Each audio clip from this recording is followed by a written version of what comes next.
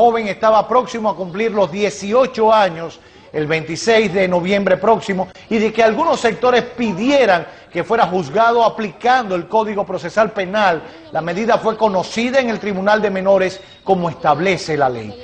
La vista se conoció en medio de reclamos de familiares y amigos que se amontonaron frente al tribunal para pedir que se juzgara como un adulto. El hecho se produjo el pasado sábado cuando el menor le propinó una puñalada a su expareja porque ésta se negaba a sostener una relación sentimental y sexual con él. Ahora, yo quiero que me digan si ese muchacho que dentro de un mes cumple su mayoría de edad, 18 años, pensó como menor para meterle una puñalada como sinvergüenza, porque la muchacha, su exnovia, no quería tener nada con él. Entendamos los hombres de una vez y por todas, me lo decía la pastora